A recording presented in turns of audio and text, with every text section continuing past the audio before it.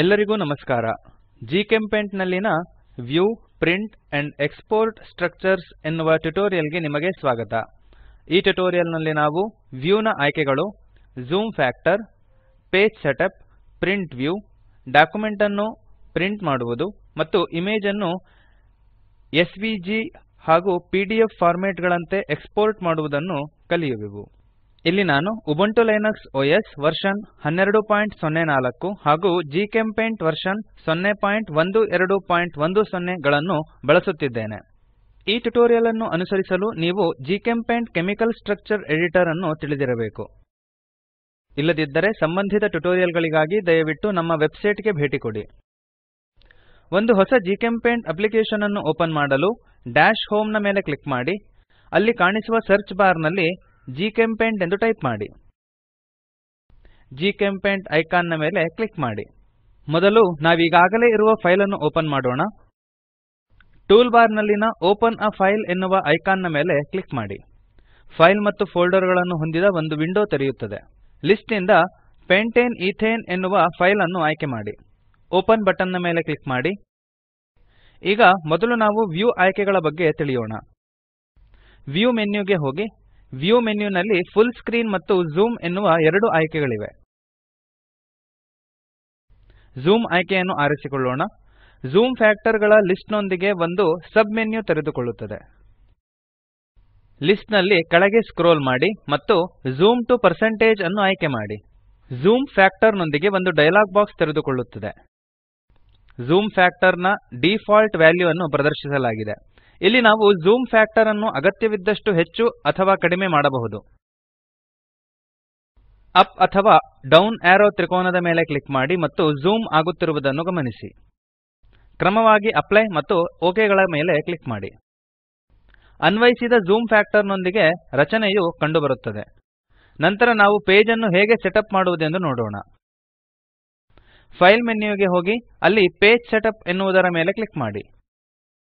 Page setup window ತೆರೆದುಕೊಳ್ಳುತ್ತದೆ. ಈ window page ಮತ್ತು ಸ್ಕೇಲ್ ಎನ್ನುವ ಎರಡು ಟ್ಯಾಬ್ಗಳನ್ನು ಒಳಗೊಂಡಿದೆ. Page tab, paper, centre on page ಮತ್ತು ಓರಿಯಂಟೇಶನ್ ಗಳಂತಹ ಫೀಲ್ಡ್ಗಳನ್ನು ಒಳಗೊಂಡಿದೆ. ಪೇಪರ್ ಫೀಲ್ಡ್ನಲ್ಲಿ ನಾವು ಡೀಫಾಲ್ಟ್ ಪೇಪರ್ ಸೈಜ್ ಅನ್ನು ಸೆಟ್ ಮಾಡಬಹುದು. ಚೇಂಜ್ ಪೇಪರ್ ಟೈಪ್ ಬಟನ್ನ ಮೇಲೆ ನಾವು ಕ್ಲಿಕ್ ಮಾಡೋಣ.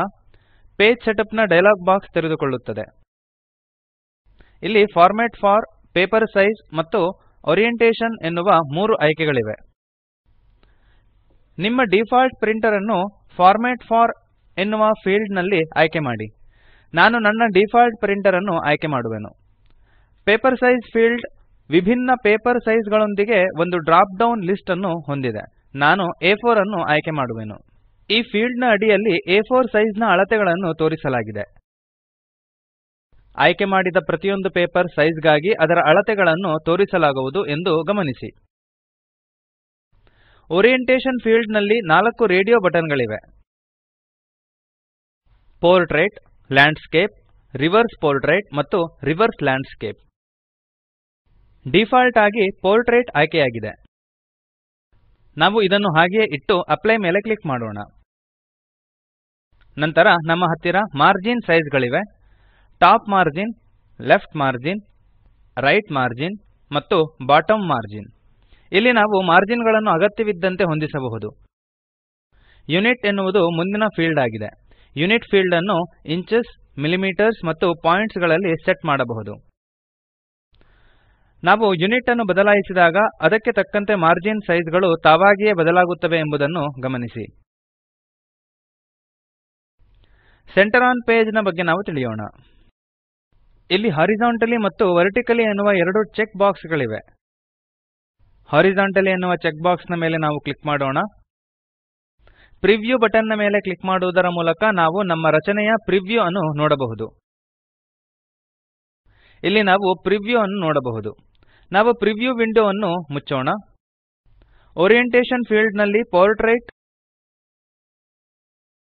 ಲ್ಯಾಂಡ್ಸ್ಕೇಪ್ ರಿವರ್ಸ್ ಪೋರ್ಟ್ರೇಟ್ ಮತ್ತು ರಿವರ್ಸ್ ಲ್ಯಾಂಡ್ಸ್ಕೇಪ್ ಗಳಿಗಾಗಿ ರೇಡಿಯೋ ಬಟನ್ ಗಳಿವೆ ಡಿಫಾಲ್ಟ್ ಆಗಿ ಪೋರ್ಟ್ರೇಟ್ ಆಯ್ಕೆಯಾಗಿದೆ. ಈಗ ನಾವು ಲ್ಯಾಂಡ್ಸ್ಕೇಪ್ ರೇಡಿಯೋ ಬಟನ್ನ ಮೇಲೆ ಕ್ಲಿಕ್ ಮಾಡೋಣ. ಆಮೇಲೆ ಪ್ರಿವ್ಯೂ ಬಟನ್ನ ಮೇಲೆ ಕ್ಲಿಕ್ ಮಾಡೋಣ. ಇಲ್ಲಿ ಲ್ಯಾಂಡ್ಸ್ಕೇಪ್ ಓರಿಯಂಟೇಶನ್ನ ಪ್ರಿವ್ಯೂ ಅನ್ನು ನಾವು ನೋಡಬಹುದು. ನೀವು ಓರಿಯಂಟೇಶನ್ನ ಇತರ ಆಯ್ಕೆಗಳನ್ನು ನೀವಾಗಿಯೇ ಪ್ರಯತ್ನಿಸಬಹುದು. ಪ್ರಿಂಟ್ ಬಟನ್ನ ಮೇಲೆ ನೀವು ಕ್ಲಿಕ್ ಮಾಡಿದರೆ ಮಾಡಿದ ಬದಲಾವಣೆಗಳೊಂದಿಗೆ ಫೈಲ್ ಅನ್ನು ಪ್ರಿಂಟ್ ಮಾಡಲಾಗುವುದು. ಪ್ರಿಂಟ್ ಮಾಡುವ ಮೊದಲು ನಿಮ್ಮ ರಚನೆಯನ್ನು ನೀವು ಅಗತ್ಯವಿದ್ದಂತೆ ಸ್ಕೇಲ್ ಸಹ ಮಾಡಬಹುದು. ಇದಕ್ಕಾಗಿ ಸ್ಕೇಲ್ ಟ್ಯಾಬ್ ನಲ್ಲಿನ ವಿವಿಧ ಆಯ್ಕೆಗಳನ್ನು ನೀವು ಬಳಸಬಹುದು. ಸ್ಕೇಲ್ ಟ್ಯಾಬ್ ಅನ್ನು ನೀವೇ ಪ್ರಯತ್ನಿಸಿ. ಪೇಜ್ ಸೆಟಪ್ ವಿಂಡೋ ಅನ್ನು ಮುಚ್ಚಲು ಕ್ಲೋಸ್ ಬಟನ್ನ ಮೇಲೆ ನಾವು ಕ್ಲಿಕ್ ಮಾಡೋಣ. ನಂತರ ಇಮೇಜ್ ಅನ್ನು ಹೇಗೆ ಎಕ್ಸ್ಪೋರ್ಟ್ ಮಾಡುವುದೆಂದು ನಾವು ಕಲಿಯೋಣ. ಫೈಲ್ ಮೆನ್ಯುವಿಗೆ ಹೋಗಿ ಸೇವ್ ಆಸ್ ಇಮೇಜ್ ಅನ್ನು ಆಯ್ಕೆ ಮಾಡಿ. ಸೇವ್ ಆಸ್ ಇಮೇಜ್ನ ಡೈಲಾಗ್ ಬಾಕ್ಸ್ ತೆರೆದುಕೊಳ್ಳುತ್ತದೆ. ಫೈಲ್ ಟೈಪ್ ಫೀಲ್ಡ್ ಇಮೇಜ್ ಆಯ್ಕೆಗಳ ಪಟ್ಟಿಯನ್ನು ಹೊಂದಿದೆ. ನೀವು ಇಮೇಜ್ ಅನ್ನು SVG, EPS, PDF, PNG JPEG ಇತ್ಯಾದಿಗಳಂತೆ export ಮಾಡಬಹುದು.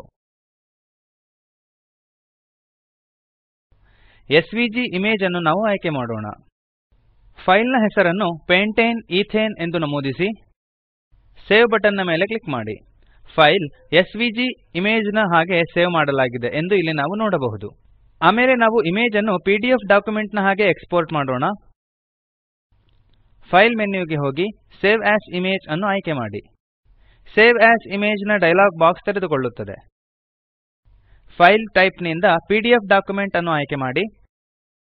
ಫೈಲ್ನ ಹೆಸರನ್ನು ಪೆಂಟೇನ್ ಈಥೇನ್ ಎಂದು ನಮೂದಿಸಿ. ಸೇವ್ ಬಟನ್ನ ಮೇಲೆ ಕ್ಲಿಕ್ ಮಾಡಿ. ಇಲ್ಲಿ ಫೈಲ್ ಪಿಡಿಎಫ್ ಡಾಕ್ಯುಮೆಂಟ್ನ ಹಾಗೆ ಸೇವ್ ಮಾಡಲ್ಪಟ್ಟಿದೆ ಎಂದು ನಾವು ನೋಡಬಹುದು. ಇದರೊಂದಿಗೆ ನಾವು ಈ ಟ್ಯುಟೋರಿಯಲ್ನ ಕೊನೆಗೆ ಬಂದಿದ್ದೇವೆ. ನಾವು ಸಾರಾಂಶಗೊಳಿಸೋಣ. ಈ ಟ್ಯುಟೋರಿಯಲ್ನಲ್ಲಿ ನಾವು